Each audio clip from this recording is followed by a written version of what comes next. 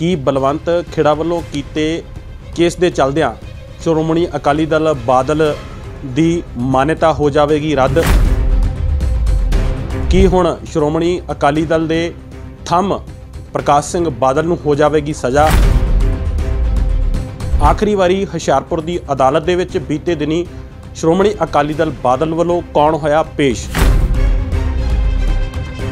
ਸਤਿ ਸ਼੍ਰੀ ਅਕਾਲ, ਤੁਸੀਂ ਦੇਖ ਰਹੇ ਹੋ D5 ਚੈਨਲ ਪੰਜਾਬੀ ਅਤੇ ਮੈਂ ਹਾਂ ਗੋਬਿੰਦਜੀਤ ਸਿੰਘ। ਬਲਵੰਤ ਸਿੰਘ ਖੇੜਾ, ਜੋ ਰਿਹਾਇਸ਼ੀ ਨੇ, ਰਹਿਣ ਵਾਲੇ ਨੇ ਸ਼ਹਿਰ ਹੁਸ਼ਿਆਰਪੁਰ ਦੇ, ਜਿਨ੍ਹਾਂ ਨੇ ਸ਼੍ਰੋਮਣੀ ਅਕਾਲੀ ਦਲ ਉੱਤੇ ਕੀਤਾ ਕੇਸ, ਦੋਹਰੇ ਸੰਵਿਧਾਨ ਦਾ ਇਹ ਪੂਰਾ ਮਾਮਲਾ। ਥੋੜਾ ਜਿਹਾ ਮਾਮਲੇ ਨੂੰ ਗਹਿਰਾਈ ਤੋਂ ਸਮਝ ਵੀ ਲੈਣੇ ਆ ਤੇ ਅੱਗੇ ਕੀ ਸਜ਼ਾ ਮੁਕਰਰ ਹੋ ਸਕਦੀ ਹੈ ਜਾਂ ਕੋਈ ਹੋਰ ਰਸਤਾ ਸ਼੍ਰੋਮਣੀ ਅਕਾਲੀ ਦਲ ਬਾਦਲ ਵੱਲੋਂ ਹੈ? ਕਿੱਥੇ ਕੁ ਪਹੁੰਚਿਆ ਇਹ ਕੇਸ? ਸਾਡੇ ਨਾਲ ਨੇ ਸੀਨੀਅਰ ਵਕੀਲ, ਪ੍ਰਸਿੱਧ ਸਮਾਜ ਸੇਵੀ ਅਤੇ ਸਿਆਸਤ ਵਿੱਚ ਡੂੰਘਾ ਤੇ ਵੱਡਾ ਤੇ ਲੰਬਾ ਤਜਰਬਾ ਰੱਖਣ ਵਾਲੇ ਸ਼ਮਸ਼ੇਰ ਸਿੰਘ। ਭਾਰਦਵਾਜ ਭਾਰਦਵਾਜ ਸਾਹਿਬ ਤੁਹਾਡਾ D5 ਚੈਨਲ ਪੰਜਾਬੀ ਤੇ ਸਵਾਗਤ ਹੈ ਜੀ। ਸਤਿ ਸ਼੍ਰੀ ਅਕਾਲ ਜੀ। ਬਹੁਤ ਬਹੁਤ ਧੰਨਵਾਦ ਤੁਹਾਡਾ ਸਰ। ਬਲਵੰਤ ਸਿੰਘ ਖੇੜਾ ਹੁਸ਼ਿਆਰਪੁਰ ਦੇ ਬਾਸ਼ਿੰਦੇ ਨੇ ਰਹਿਣ ਵਾਲੇ ਨੇ ਉਹਨਾਂ ਨੇ ਜਿਹੜਾ ਕੇਸ ਕੀਤਾ ਹੈ ਥੋੜੀ ਜਿਹੀ ਡਿਟੇਲ ਆਪਾਂ ਉਹਨੂੰ ਦੇ ਦਈਏ। ਬਹੁਤ ਸਾਰੇ ਦਰਸ਼ਕ ਤਾਂ ਜਾਣਦੇ ਨੇ ਕਿਉਂਕਿ ਚੋਣਾਂ ਦਾ ਜਿਹੜਾ ਨਤੀਜਾ 10 ਤਰੀਕ ਨੂੰ ਆਉਣ ਵਾਲਾ ਹੈ ਬਹੁਤ ਸਿਆਸੀ ਸਰਗਰਮੀਆਂ ਤੇਜ਼ ਰਹੀਆਂ ਨੇ ਨਤੀਜੇ ਵੀ ਜਿਹੜੇ ਉਡੀਕੇ ਜਾ ਰਹੇ ਨੇ। ਇਹਦੇ ਸਾਰੇ ਦਰਮਿਆਨ ਜਿਹੜਾ ਚੱਲ ਰਿਹਾ ਇਹ ਰੌਚਕ ਜਿਹਾ ਇੱਕ ਮਸਲਾ ਬਣ ਗਿਆ। ਕੀ ਮਸਲਾ ਕੀ ਸੀ? ਮੈਂ ਸਮਝਦਾ ਵੀ ਬਲਵੰਤ ਸਿੰਘ ਖੇੜਾ ਨੇ ਆਪਣੇ ਆਪ ਨੂੰ ਸੁਰਖੀਆਂ ਦੇ ਵਿੱਚ ਰੱਖਣ ਦੇ ਲਈ ਇੱਕ 100 ਸਾਲ ਪੁਰਾਣੀ ਰਜਿਸਟਰਡ ਪਾਰਟੀ ਨੂੰ ਚੈਲੰਜ ਕਰਕੇ ਇੱਕ ਹਥਿਆਰ ਬਣਾਇਆ। ਤਾਂ ਕਿ ਉਹ ਸੁਰਖੀਆਂ ਵਿੱਚ ਰਹਿ ਸਕਣ। ਸੁਰਖੀਆਂ ਵਿੱਚ ਰਹਿ ਸਕਣ ਬਜ਼ੁਰਗ ਨੇ ਮਾਮਲਾ ਕੀ ਸੀਗਾ?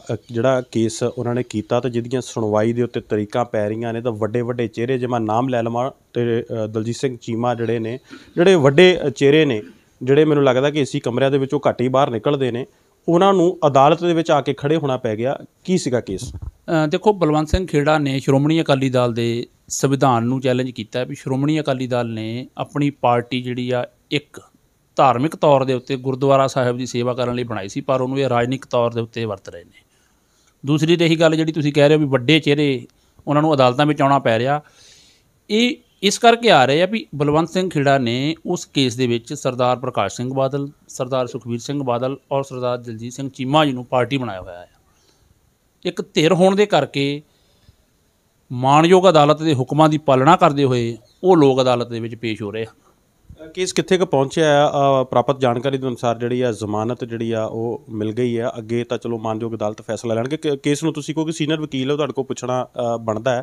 ਕਿ, ਕਿਸ ਤਰ੍ਹਾਂ ਦੇਖਦੇ ਹੋ? ਸਮੀਕਰਨ ਕੀ ਬਣਨਗੇ? ਅੱਗੇ ਕੇਸ ਕਿਹੜੇ ਪਾਸੇ ਨੂੰ ਜਾ ਸਕਦਾ? ਦੇਖੋ ਮਾਣਯੋਗ ਅਦਾਲਤ ਨੇ ਸਰਦਾਰ ਪ੍ਰਕਾਸ਼ ਸਿੰਘ ਬਾਦਲ, ਸਰਦਾਰ ਸੁਖਬੀਰ ਸਿੰਘ ਬਾਦਲ ਔਰ ਦਲਜੀਤ ਸਿੰਘ ਚੀਮਾ ਜੀ ਨੂੰ ਜ਼ਮਾਨਤ ਦੇ ਉੱਤੇ, ਜ਼ਮਾਨਤ ਦੇ ਉੱਤੇ ਛੱਡਿਆ ਹੋਇਆ ਹੈ। ਜ਼ਮਾਨਤ ਉਹਨਾਂ ਦੀ ਹੋਈ ਹੋਈ ਹੈ ਔਰ ਬਲਵੰਤ ਸਿੰਘ ਖੇੜਾ ਨੂੰ 22 ਮਾਰਚ ਨੂੰ ਇਸ ਕੇਸ ਨੂੰ ਪ੍ਰੂਵ ਕਰਨ ਲਈ ਗਵਾਹੀਆਂ ਕਰਾਉਣ ਦੇ ਲਈ ਹੁਕਮ ਜਾਰੀ ਕੀਤੇ ਹਨ। ਕੀ ਲੱਗਦਾ ਨਤੀਜੇ ਆਉਣ ਵਾਲੇ ਨੇ? ਥੋੜੇ ਦਿਨ ਰਹਿ ਗਏ ਨੇ ਜਾਂ ਕਹਿ ਲਈਏ ਕਿ ਘੰਟੇ ਹੀ ਰਹਿ ਗਏ ਕੋਈ ਬਹੁਤਾ ਸਮਾਂ ਨਹੀਂ ਰਹਿ ਗਿਆ। ਨਤੀਜੇ ਕਿਹੜੇ ਪੱਖੀ ਲੱਗਦਾ ਕਿ ਆਉਣ ਦੀ ਉਮੀਦ ਲੱਗਦੀ ਹੈ? ਦੇਖੋ ਲੋਕਾਂ ਦਾ ਰੁਝਾਨ ਜੋ ਹੈ ਪਿਛਲੇ ਕਾਫੀ ਸਮੇਂ ਤੋਂ ਅਸੀਂ ਵੀ ਰਾਜਨੀਤੀ ਨਾਲ ਜੁੜੇ ਹੋਏ ਹਾਂ ਲੋਕਾਂ ਦੇ ਵਿੱਚ ਵਿਚਰ ਰਹੇ ਹਾਂ। ਇਸ ਵਾਰ ਸ਼੍ਰੋਮਣੀ ਅਕਾਲੀ ਦਲ ਔਰ ਬਹੁਜਨ ਸਮਾਜ ਪਾਰਟੀ ਦੀ ਸਰਕਾਰ ਸੱਤਾ ਸੰਭਾਲੇਗੀ।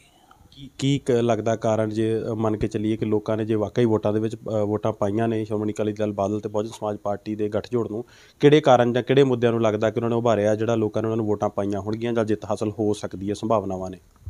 ਸਭ ਤੋਂ ਪਹਿਲਾਂ ਤਾਂ ਕਾਰਨ ਇਹ ਹੈ ਵੀ ਸ਼੍ਰੋਮਣੀ ਅਕਾਲੀ ਦਲ ਨੇ ਆਪਣੀ 2007 ਤੋਂ ਲੈ ਕੇ 17 ਦੌਰਾਨ ਸਰਕਾਰ ਦੇ ਵਿੱਚ 10 ਸਾਲ ਦੇ ਵਿੱਚ ਜੋ ਪੰਜਾਬ ਦਾ ਵਿਕਾਸ ਕੀਤਾ, ਸ਼ਾਇਦ ਹੀ ਅੱਜ ਤੱਕ ਕਿਸੇ ਸਰਕਾਰ ਨੇ ਕੀਤਾ ਹੋਵੇ।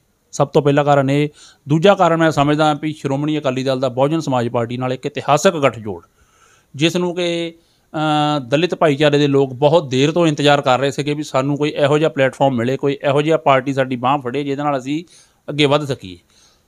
ਸੋ ਪਰਮਾਤਮਾ ਨੇ ਇਸ ਵਾਰ ਉਹ ਮੌਕਾ ਉਹਨਾਂ ਨੂੰ ਬਖਸ਼ਿਆ ਔਰ ਇਹ ਇਤਿਹਾਸਕ ਗੱਠਜੋੜ ਹੋਇਆ ਔਰ ਇਹ ਇਤਿਹਾਸਕ ਸਰਕਾਰ ਵੀ ਬਣ ਜਾ ਰਹੀ ਹੈ।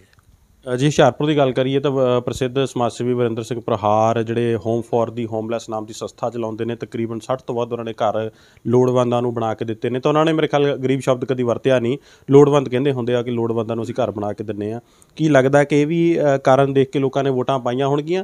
ਉਹ ਕਈ ਉਹਨਾਂ ਨਾਲ ਵਿਵਾਦ ਵੀ ਜਿਹੜੇ ਨੇ ਉਹ ਉਹ ਜੁੜਦੇ ਜੁੜਦੇ ਬਚਾਅ ਹੋ ਗਿਆ ਉਹਨਾਂ ਦਾ ਚੋਣਾਂ ਦੇ ਨੇੜੇ ਤੇੜੇ। ਦੇਖੋ ਇਹ ਤਾਂ ਲੋਕਾਂ ਨੂੰ ਪਹਿਲੀ ਵਾਰ ਹੁਸ਼ਿਆਰਪੁਰ ਦੇ ਵਿੱਚੋਂ ਇੱਕ ਪੜ੍ਹਿਆ ਲਿਖਿਆ, ਸੂਝਵਾਨ, ਸਮਝਦਾਰ ਔਰ ਸਮਾਜਿਕ ਤੌਰ ਦੇ ਉੱਤੇ ਏਡੀ ਵੱਡੀ ਦਿੱਖ ਵਾਲਾ ਜਿਹੜਾ ਆ ਉਮੀਦਵਾਰ ਉਹਨਾਂ ਨੂੰ ਮਿਲਿਆ ਔਰ ਲੋਕਾਂ ਦੇ ਵਿੱਚ ਆਰ ਉਹ ਵਿਚਰੇ ਵੀ ਬਹੁਤ ਗੰਭੀਰਤਾ ਦੇ ਨਾਲ, ਡੂੰਘਾਈ ਦੇ ਨਾਲ ਲੋਕਾਂ ਨੇ ਉਹਨਾਂ ਨੂੰ ਬਹੁਤ ਪਿਆਰ ਬਖਸ਼ਿਆ। ਜੇਕਰ ਗੱਲ ਕਰ ਲਈਏ ਹੋਰ ਪਾਰਟੀਆਂ ਦੇ ਆਗੂਆਂ ਦੀ ਤੇ ਵਿਸ਼ੇਸ਼ ਤੌਰ ਦੇ ਉੱਤੇ ਵਿਧਾਇਕ ਤੇ ਸਾਬਕਾ ਮੰਤਰੀ ਸੁੰਦਰ ਸ਼ਾਮ ਅਰੋੜਾ ਉਹਨਾਂ ਵੱਲੋਂ ਵਿਕਾਸ ਦੇ ਜਿਹੜੇ ਦਾਅਵੇ ਤੇ ਵਾਅਦੇ ਅਕਸਰ ਕੀਤੇ ਜਾਂਦੇ ਨੇ।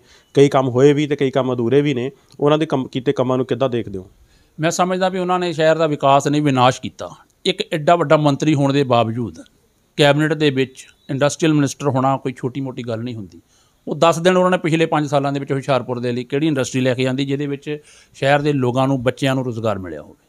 ਉਹ ਗਣਾਉਂਦੇ ਨੇ, ਕਹਿੰਦੇ ਸੜਕਾਂ ਬਹੁਤ ਸੋਹਣੀਆਂ ਹੋ ਗਈਆਂ ਬਾਜ਼ਾਰ ਦੀ ਸੜਕ ਬਹੁਤ ਵਧੀਆ ਬਣ ਗਈ, ਲੋਕ ਖੁਸ਼ ਨੇ ਕ- ਜਿਹੜਾ ਮੈਰਿਜ ਪੈਲੇਸ ਜਿਹਨੂੰ ਲੋਕ ਕਹਿੰਦੇ ਨੇ, ਕਮਿਊਨਿਟੀ ਸੈਂਟਰ ਜਾਂ ਕਹਿ ਲਿਆ ਜਾਵੇ ਹਾਲ ਬਹੁਤ ਵਧੀਆ 에ਅਰ ਕੰਡੀਸ਼ਨਰ ਜਿਹੜਾ ਹੈ, ਉੱਥੇ ਲੋੜਵੰਦ ਧੀਆਂ ਬੱਚੀਆਂ ਦੇ ਵਿਆਹ ਜਿਹੜੇ ਕੀਤੇ ਜਾ ਸਕਦੇ ਨੇ, ਝੀਲ ਬਣਾਉਣ ਦੀ ਗੱਲ ਆਖੀ, ਉਹਨਾਂ ਨੇ ਮੈਡੀਕਲ ਕਾਲਜ ਦਾ ਜਿਹੜਾ ਦਾਵਾ ਤੇ ਵਾਅਦਾ ਕੀਤਾ, ਨੀਂਹ ਪੱਥਰ ਵੀ ਰੱਖਿਆ ਹੋਇਆ ਸਰਕਾਰੀ ਹਸਪਤਾਲ ਦੇ ਵਿੱਚ, ਇਸ ਤੋਂ ਇਲਾਵਾ ਹੋਰ ਉਹਨਾਂ ਨੇ ਕਈ ਦਾਅਵੇ ਜਿਹੜੇ ਨੇ ਉਹ ਕੀਤੇ ਨੇ ਕਿ ਆਉਣ ਵਾਲੇ ਸਮੇਂ ਦੇ ਵਿੱਚ ਵੀ ਕੰਮ ਕਰਾਂਗੇ ਤੇ ਜਿਹੜੇ ਕੰਮ ਕੀਤੇ ਵੀ ਉਹ ਵੀ ਉਹਨਾਂ ਨੇ ਗਣਾਏ, ਲੱਗਦਾ ਕਿ ਉਹਨਾਂ ਨੇ ਕੰਮ ਇਹ ਕੀਤੇ ਜਾਂ ਉਹਨਾਂ ਨੂੰ ਅਣਗੌਲੀਆਂ ਕੀਤਾ ਜਾ ਰਿਹਾ ਜਾਂ ਤੁਹਾਨੂੰ ਲੱਗਦਾ ਕਿ ਉਹ ਕੰਮ ਕਰਨੇ ਵਾਲੇ ਜਿਹੜੇ ਸੀ ਉਹ ਨਹੀਂ ਕੀਤੇ ਗਏ ਤੇ ਹੋਰ ਕੰਮਾਂ ਨੂੰ ਜਿਹੜਾ ਉਭਾਰਿਆ ਜਾ ਰਿਹਾ?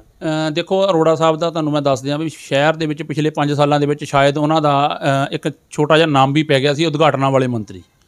ਉਹਨਾਂ ਨੂੰ ਮੁਹਾਰਤ ਹਾਸਲ ਹੈ ਉਦਘਾਟਨ ਕਰਨ ਦੇ ਵਿੱਚ। ਉਹਨਾਂ ਨੂੰ ਸਿਰਫ ਤੇ ਸਿਰਫ ਮੁਹ- ਇੱਕ ਨੀਂਹ ਪੱਥਰ ਤੇ ਆਪਣਾ ਨਾਮ ਲਿਆਉਣ ਦੇ ਨਾਲ ਮਤਲਬ ਆ, ਬਾਕੀ ਕੰਮਕਾਰ ਹੋਵੇ ਜਾਂ ਨਾ ਹੋਵੇ, ਉਹ ਬਾਅਦ ਦੀਆਂ ਗੱਲਾਂ। ਬਾਕੀ ਜਿਹੜੀ ਗੱਲ ਤੁਸੀਂ ਕਰ ਰਹੇ ਹੋ ਜੀ, ਉਹਨਾਂ ਨੇ ਇੱਕ ਇੱਥੇ ਕਮਿਊਨਿਟੀ ਸੈਂਟਰ ਲਿਆਂਦਾ, ਉਹਨਾਂ ਨੇ ਮੈਡੀਕਲ ਕਾਲਜ ਲਿਆਂਦਾ, ਇਹ ਸਾਰੀਆਂ ਗੱਲਾਂ ਜਿਹੜੀਆਂ ਹੈਗੀਆਂ ਆ, ਲੋਕਾਂ ਨੂੰ ਇਸ ਚੀਜ਼ ਦੇ ਨਾਲ ਰੋਜ਼ਗਾਰ ਤਾਂ ਨਹੀਂ ਮਿਲ ਰਿਹਾ। ਇੱਕ ਇੰਡਸਟਰੀ ਮਿਨਿਸਟਰ ਹੋਵੇ 5 ਸਾਲ ਦੇ ਵਿੱਚ ਹੁਸ਼ਿਆਰਪੁਰ ਦੇ, ਹੁਸ਼ਿਆਰਪੁਰ ਛੱਡੋ, ਜਲੰਧਰ ਕਪੂਰਥਲੇ ਦੇ ਵਿੱਚ ਲਾਗੇ ਛਾਗੇ ਦੇ ਜ਼ਿਲ੍ਹਿਆਂ ਵਿੱਚ ਵੀ ਦੱਸ ਦੇਣ ਵੀ ਮੈਂ ਕੋਈ ਇੱਕ ਬਹੁਤ ਵੱਡੀ ਇੰਡਸਟਰੀ ਲੈ ਕੇ ਆਇਆ। ਉਹਨਾਂ ਨੇ ਤਾਂ ਸਿਰਫ ਆਪਣਾ ਵਿਕਾਸ ਕੀਤਾ, ਜਿੰਨਾ ਕੀਤਾ। ਅੱਜ ਸ਼ਹਿਰ ਦੇ ਜਿਹੜੀ ਮਰਜ਼ੀ ਕੋਨੇ ਤੋਂ ਅੰਦਰ ਵੜ ਜਾਓ, ਸ਼ਹਿਰ ਦੇ ਹੁਸ਼ਿਆਰਪੁਰ ਨੂੰ ਚੰਡੀਗੜ੍ਹ ਰੋਡ ਤੋਂ ਵੜੋਗੇ ਤਾਂ ਤੁਹਾਨੂੰ ਅਰੋੜਾ ਕਲੋਨੀ ਮਿਲੇਗੀ, ਹੁਸ਼ਿਆਰਪੁਰ ਰੋਡ ਤੋਂ ਵੜੋਗੇ ਤਾਂ ਤੁਹਾਨੂੰ ਅਰੋੜਾ ਕਲੋਨੀ ਮਿਲੇਗੀ, ਦਸੂਹਾ ਰੋਡ ਤੋਂ ਵੜੋਗੇ ਤਾਂ ਤੁਹਾਨੂੰ ਅਰੋੜਾ ਕਲੋਨੀ ਮਿਲੇਗੀ। ਇਸ ਤੋਂ ਭਲੀ ਭਾਂਤੀ ਜਿਹੜਾ ਅੰਦਾਜ਼ਾ ਲਾਇਆ ਜਾ ਸਕਦਾ ਵੀ ਉਹਨਾਂ ਨੇ ਵਿਕਾਸ ਸਿਰਫ ਆਪਣਾ ਹੀ ਕੀਤਾ।